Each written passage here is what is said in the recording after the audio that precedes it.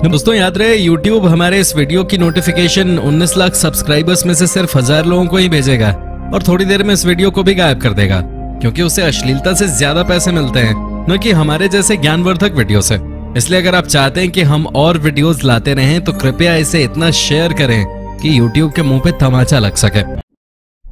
हमारी दुनिया में लगभग हर कदम पे नए रहस्य छुपे हुए हैं। इंसान इस दुनिया पर लगभग दो लाख सालों से है। और दो लाख सालों में आई गई हर सभ्यता के निशान पृथ्वी में दबे हुए हैं। वो इंतज़ार कर रहे हैं कि उन्हें ढूंढा जाए और उनके मिस्ट्री को सॉल्व किया जाए। लेकिन ये अब तक तो पॉसिबल नहीं हो पाया है। मिस्ट्री सॉल्व होने की बजाय उलझती गई है। मिलने वाले निशानों ने हमारी सभ्यता को चौंका कर रख दिया है और सख्ते में डाल दिया है। आज बात करेंगे ऐसे ही टॉप टेन पुरातत्व खोजों की, जिन्हें देखकर हर कोई हैरान और परेशान हो जाता है। Number ten giant sword Adachi blade सबसे पहले बात करेंगे 20 फीट की तलवार की, जिसका वज़न है 14 किलोग्राम से भी ज़्यादा। आमतौर पर पुराने समय में तलवारों का वज़न इससे कम हुआ करता था और उनकी ऊंचाई भी इतनी नहीं हुआ करते थे। इसलिए वैज्ञानिकों ने जब इस तलवार को देखा तो सबसे पहले उन्हें यही लगा कि क्या ये स्वॉर्ड एक जायंट की है? ऐसा जायंट जो कि हमने आज तक सिर्फ़ फ़िल्मों में ही देखे हैं। यहाँ चौंकाने वाली बात यह है कि जायंट्स के बारे में भले ही हमारे इतिहास में कुछ नहीं बताया गया हो, लेकिन जहाँ पुरातत्व विभाग को ये तलवार मिली, उसी जगह पर उन्हें जायंट वॉरियर्स के फॉसिल्स भी मिले। इतिहासकारों का एक धड़ा यह भी मानता है कि हो सकता है कि ये फॉसिल्स किसी जानवर के हों, क्योंकि इनके पूरी तरह से छत विशत हो जाने के कारण ये पता नहीं चल पा रहा है कि ये हैं किसके। इतिहासकारों का यह भी मानना है कि हो सकता है कि ये तलवार स्टैच्यूज सिंबल के रूप में प्रयोग की जाती रही हो। हालाँकि सच क्या है, अब तक पता नहीं चल पाया है। नंबर नाइन टेराकोटा आर्मी साल उन्नीस ये साल वैसे तो इतिहास की नज़र से कुछ खास नहीं है, लेकिन ये वही साल है जब चाइना को एक और टूरिस्ट पॉइंट मिला। साल 1974 में कुछ मजदूर कुआँ खोद रहे थे, तभी उन्हें मिट्टी के बने सैनिकों का एक एंटीक सेट देखा। बाद में और खुदाई की गई तो यहाँ हज़ारों सैनिक निकले। इनकी खासियत ये थी कि हर सैनिक अलग अलग तरह से बनाया गया था, यानी कि किसी की भी शक्ल दूसरे से मैच नहीं कर रही थी। अब तक तो इस पर बहुत ज़्यादा खुलासा तो नहीं किया जा सका है, लेकिन जानकार ये बताते हैं कि ये सैनिक चीन के पहले सम्राट केन शोंग को उसके मरने के बाद सुरक्षा देने के लिए बनाए गए थे। ऐसा भी माना जाता है कि शॉन की कब्र में खजाना है, लेकिन आर्कियोलॉजिस्ट वहाँ जाकर इसे खराब नहीं करना चाहते। टेराकोटा आर्मी को सात लाख से ज़्यादा सैनिकों ने बनाया था। नंबर एट यूएफओ कॉइन 2016 में इजिप्ट में घर के रेनोवेशन के दौरान एक सिक्का मिला, जिसके एक तरफ़ एक एलियन जैसे दिखने वाले क्रीचर की इमेज थी, और दूसरी तरफ़ एक यूएफओ बना हुआ था। उस क्वाइन पे लैटिन में ऑपरचुनस एडस लिखा हुआ था, जिसका मतलब हिंदी में है, वो आने वाले हैं। तो क्या इसका मतलब ये है कि एलियन आने वाले हैं? बिल्कुल नहीं। ये क्वाइंस यूनाइटेड स्टेट्स के थे और एक लेडी को रिप्रेजेंट कर रहे थे, लेकिन किसी ने इन्हें बदलकर एलियन की इमेज इन पे लगा दी थी। ऐसे क्वाइन को होबो क्वाइंस कहा जाता है। इन्हें लोगों को मैनिपुलेट करने के लिए 1750 में बनाया जाता था। Number seven ancient computer computer का आविष्कार 1975 में हुआ था। लेकिन क्या आप जानते हैं कि कंप्यूटर हमारी धरती पे उससे पहले से मौजूद हैं? बात है साल 1901 की, रोम के आसपास एक डाइविंग टीम को बहुत सारा खजाना मिला। इस खजाने में गहने थे, हीरे जवाहरात थे, लेकिन सबसे खास था एक अजीब सा मैकेनिज्म इसे देखकर भी ये समझा नहीं जा पा रहा था कि आखिर इसे प्रयोग कहाँ किया जाता होगा। इसमें बहुत से गियोस थे, ऐसा लग रहा था जैसे ये किसी रथ का पहिया है। पहले इसे प्रिजर्व करके लैब में लाया गया, और उसके बाद इस पर रिसर्च हुई। शुरुआती रिसर्च में कुछ नहीं मिला और 1901 के अट्ठावन साल बाद उन्नीस सौ उनसठ में डेरेक जेआई नाम के वैज्ञानिक ने बताया कि ये एक कंप्यूटर है, जिसका प्रयोग तारों को देखने के लिए किया जाता था। हालाँकि कैसे, ये अब तक पता नहीं चल पाया है। नंबर सिक्स, खट शेपीब। दोस्तों, आपने ग्रेट वॉल ऑफ़ चाइना के बारे में तो सुना ही होगा, लेकिन क्या आप अंदाज़ा भी लगा सकते हैं कि दुनिया में कोई वॉल उससे भी ज़्यादा एंशियंट और रहस्यमयी है? मैं बात कर रहा हूँ डेढ़ सौ किलोमीटर लंबी खट शबीब नाम की दीवार की। जिसे पहली बार एक ब्रिटिश साइंटिस्ट ने प्लेन से नोटिस किया था।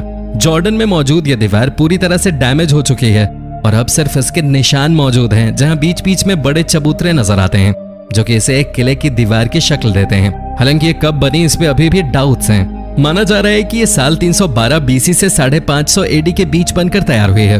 हालाँकि अब तक इसे बनाने वालों के बारे में और इसके उद्देश्य के बारे में कुछ पता नहीं चल पाया है। Number five mysterious circles of Jordan पिछली साइड की तरह ये साइड भी जॉर्डन में ही है और रहस्यमय है। 1920 में एक ब्रिटिश पायलट ने तस्वीरें खींची और ये पता चला कि जॉर्डन में बड़े बड़े गोले बने हुए हैं। ये गोले छह सौ छियासी फीट की त्रिज्या के हैं रिसर्च के बाद ये पता चला कि ये लगभग 2000 साल पुराने हैं। इन्हें ढंग से देखने के बाद ये पता चला कि इन्हें बनाना मुश्किल नहीं है, लेकिन इन्हें बनाया किस लिए गया था ये आज तक पता नहीं चल पाया है। साइंटिस्ट ने जब इसे स्पेस से एग्जामिन किया तो ये किसी हेलीपैड की तरह ही नज़र आ रहे थे। इन पर रिसर्च अब भी जारी है। Number four Luna pyramid mystery Luna के पिरामिड को लगभग 4350 साल पहले बनाया गया था। तब से अब तक ये पिरामिड लगातार तबाह होते जा रहे हैं और इनमें जाना रिस्की माना जाता है।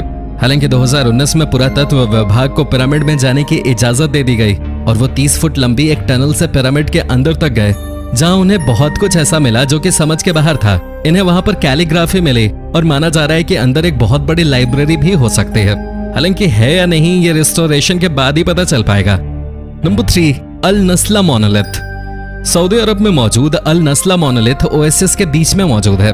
इस पर आर्टवर्क बनाया गया है, जो कि 4000 साल पुराना है। हालाँकि इसे इसके आर्टवर्क की वजह से नहीं, बल्कि इसके टूटने की वजह के कारण याद किया जाता है। दोस्तों, ये दो हिस्सों में कटी हुई है और इसका कटाव बिल्कुल प्लेन है, जैसे इसे किसी लेजर या मशीन से काटा गया हो। प्लेन तो सामान्य हथियारों से भी किया जा सकता है, लेकिन इसके कटाव में इतना ज़्यादा स्पेस भी नहीं। कि किसी हथियार से प्लेन किया जा सके। इसके प्लेन और स्मूथ होने का कारण वैसे तो अब तक पता नहीं चल पाया है। लेकिन कहा यह जाता है कि ये हवा के कारण हुए हो सकते हैं। आपको क्या लगता है, क्या ये एलियंस ने किया है या लेजर ने? Number two Yonaguni Japan Yonaguni island Japan में पानी के अंदर एक बड़े रॉक फॉर्मेशन के नीचे दबा हुआ है। इसे देखने वाले बताते हैं कि ये एक दबा हुआ पिरामिड है। पहली बार इसे उन्नीस सौ छियासी में स्कूबा इंस्ट्रक्टर के द्वारा खोजा गया था। एक तरफ़ जहाँ इसे पिरामिड माना जा रहा है, वहीं दूसरी तरफ़ साइंटिस्ट ये भी कह रहे हैं कि ये एक नेचुरल फॉर्मेशन भी हो सकती है, जो कि पानी के दबाव के कारण बनकर तैयार हुई हो। हालाँकि इस बारे में भी कुछ खोजा नहीं जा सका है, सिर्फ़ कयास ही लगाए गए हैं। एक थ्योरी ये भी कहती है कि ये खोए हुए अटलांटिस से जुड़ा हुआ हो सकता है। तो वहीं दूसरी थ्योरी का कहना है कि ये एलियंस द्वारा बनाया गया हो सकता है, क्योंकि इंसान के लिए पुराने समय में पानी के नीचे ऐसा कुछ बनाना लगभग नामुमकिन था, जो कि सच भी है। हालाँकि ये क्या है, इसकी खोज अब तक जारी है। Number one iron pole Qutub Minar Delhi में बना कुतुब मीनार अपनी तिहत्तर मीटर की ऊंचाई के लिए जाना जाता है और पूरी दुनिया में प्रसिद्ध है। लेकिन यहाँ कुतुब मीनार देखने आने वाले सैकड़ों साल पुराने इस पोल को देखकर लोग हैरान रह जाते हैं। ऐसा माना जाता है कि ये कुतुब मीनार से भी ज़्यादा पुराना है और तकरीबन 1600 साल पहले बन के तैयार हुआ। लोगों को इस बात की हैरानी होती है कि अब तक इसमें किसी भी तरह की जंग नहीं लगी है। ये कैसे संभव है? इस बात का जवाब अब तक साइंटिस्ट नहीं दे पाए हैं। 1600 साल पहले इसे चंद्रगुप्त सेकेंड ने बनवाया था। इस पर जंग न लगने के पीछे दो थ्योरीज दी जाती हैं। पहली तो ये कि हो सकता है कि इसे बनाने के लिए बहुत ज़्यादा फॉस्फोरस का यूज़ किया गया हो, ताकि इसे ऑक्सीडाइजेशन से बचाया जा सके। दूसरा कारण ये हो सकता है कि इसका एनवायरनमेंट इस तरह से बनाया गया हो, कि इस पर जंग न लग सके। हालाँकि खुले आसमान के नीचे ये भी संभव नहीं है। और अब इन दोनों थ्योरीज को नकार दें तो कोई थ्योरी बचती ही नहीं, जो इस लौह स्तंभ के गुत्थे सुलझा सके। तो दोस्तों, ये थी वो अमेजिंग खोजें। आपको इनमें से किस खोज ने सबसे ज़्यादा हैरान किया है? कमेंट करके ज़रूर बताएँ। इन खोजों को देखकर यही कहा जा सकता है कि अभी भी अपने इतिहास के बारे में हमें वन परसेंट भी नहीं पता। खैर, वीडियो को लाइक और शेयर करना और हमारे इस चैनल को सब्सक्राइब करना बिल्कुल ना भूलें।